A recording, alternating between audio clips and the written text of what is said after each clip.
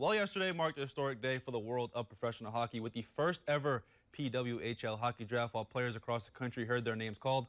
Bulldog Crunchy received the most number of calls from any NCAA program. UMD head coach Maura Crowell said her prediction was 8 to 10 players, but was not surprised with the elite number of 11 former Bulldogs who were taking their talents to the pro level most of the country. With all the top women's hockey players now competing in one league between six different teams, Crowell knows that this will not only grow the future of women's hockey, but it will grow the future of UMD's program, specifically in the department of recruiting future Bulldogs who dream of playing beyond college.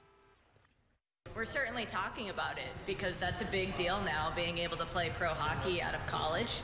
Totally different conversation than we've had even in years past with pro options. It's just a, it's a bigger deal. There's a bigger um, light on this league. And our current players yesterday were getting goosebumps for our, our former players, but also for themselves too, thinking, you know, this, this is going to be me in a year or two.